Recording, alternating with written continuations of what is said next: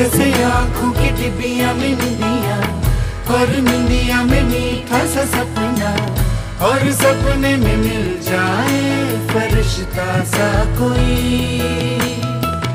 जैसे रंगों भरी पिचकारी, जैसे तितलियाँ फूलों की क्यारी, जैसे बिना मतलब का प्यारा रिश्ता हो कोई। ये तो आशा